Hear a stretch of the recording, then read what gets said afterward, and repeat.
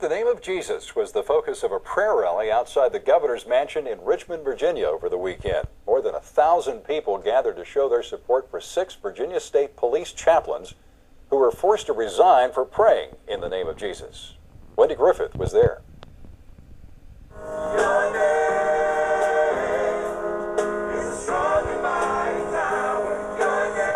Virginia Governor Tim Kaine banned the name of Jesus from public prayers, hundreds of believers gathered outside the governor's mansion to stand up for Jesus and for the right of chaplains to pray in Jesus' name. When the state policy was handed down this summer prohibiting chaplains from praying publicly in Jesus' name, State Trooper Mike Honaker knew what he had to do. You know what? If, if Jesus is out of the program, then I'm going to have to get out of the program too.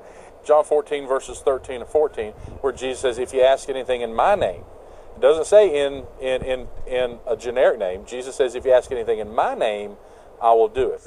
The rally drew young and old, even a group of bikers, to support the chaplains.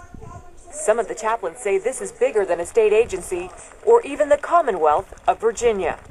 This is an issue dealing with our religious and our constitutional freedoms. This is about the existence and the direction of a nation. Wendy Griffith, CBN News, Richmond.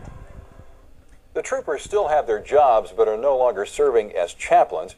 Pat, there is legislation pending in the Virginia House and Senate that would allow chaplains, though, to pray in Jesus' name.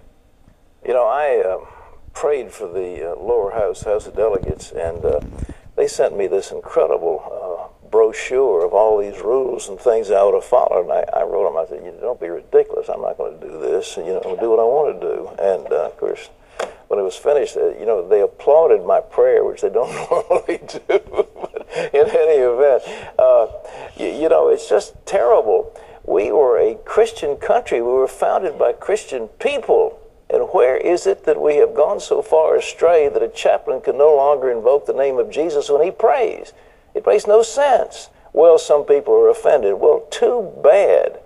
They're evoking the name of Muhammad and Allah and who, you know, Shiva and the Vishnu and the various other gods of Try these to religions. turn that around. If we were to go into the culture of where that is the predominant religion, I mean, you think we'd have the Yeah, freedom to bring- say, "Gee, you know, that offends me." I Bring, think we bring need a to change lawsuit that. in Yeah. uh, Saudi Arabia to stop praying to Allah and uh, watch what happens to you, how quick you'll be in jail and tortured.